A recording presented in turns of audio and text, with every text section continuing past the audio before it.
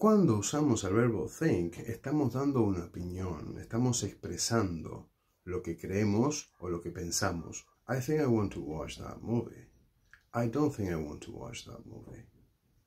I think it's gonna rain. I don't think it's gonna rain. Decir I think y I think so no es lo mismo, ¿ok? Decir I don't think y I don't think so tampoco es igual. Do you want to watch that movie? I think so. I don't think so. Is it going to rain? I think so.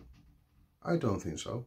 Es decir, cuando ponemos el think so, estamos de acuerdo con algo que alguien ya expresó. Ahora, si yo digo, I think it's gonna rain, y alguien dice, I don't think so, quiere decir que está en desacuerdo. Hey, I think that's an amazing movie. I don't think so. That means I don't agree with you. I don't think that's an amazing movie at all. Estoy en desacuerdo. Lo que no podemos decir es, I think so it's gonna rain. I think so I want to watch that movie. Do you think so it's gonna rain? Eso estaría mal, ¿ok?